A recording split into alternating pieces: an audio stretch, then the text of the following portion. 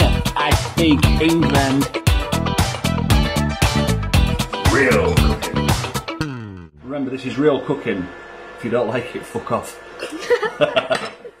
Give me four minutes of your time, friends, and I will show you how good it is. Step back, Jack. Show them my erection. But it's a, a decent length in from the outside of the uh, cock. But I have put it out through its bum there.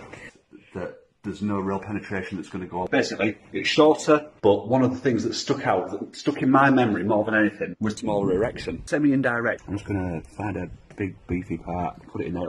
Right, friends.